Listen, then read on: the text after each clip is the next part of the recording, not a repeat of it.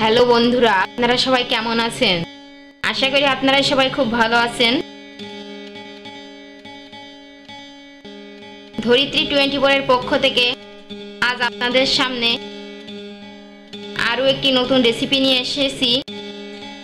রেসিপিটির নাম হলো সবজি পেঁয়াজু। সবজি পেঁয়াজু তৈরি করতে যে যে উপকরণগুলো লাগবে,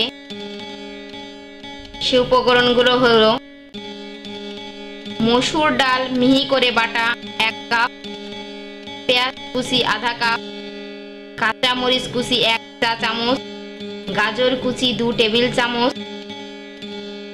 লাল শাকের পাতা কুচি দু টেবিল চামচ, বাঁধাকপি কুচি দু টেবিল চামচ, ধনে পাতা কুচি এক টেবিল চামচ, আদা বাটা এক চা চামচ, রসুন বাটা এক চা চামচ, হলুদ গুঁড়ো আধা চা চামচ, বিট লবণ, আধা চা চামচ, তেল ও লবণ প্রয়োজন মতন। আশা করি উপকরণগুলো আপনাদের দেখা হয়েছে।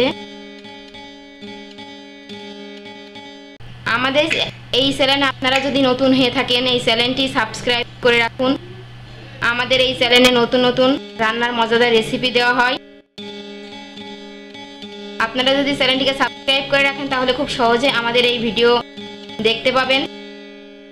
আমাদের এই চ্যানেলে অনেক নতুন নতুন ভিডিও আপলোড করা হয়।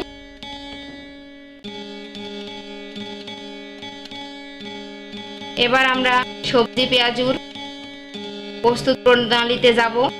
কীভাবে সবজি পেঁয়াজু তৈরি করা যায়? বাটা ডালের সঙ্গে একে একে সব উপকরণ মিশিয়ে দিন। শুধু তেল ও বিট লবণ ছাড়া।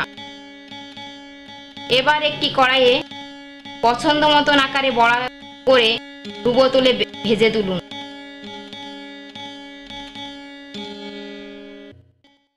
ভাজা হলে বিট লবণ ছিটিয়ে সবজি পেঁয়াজ পরিবেশন করুন। সবজি পেঁয়াজ খুবই একটি মজাদার ও মুখরোচক খাবার।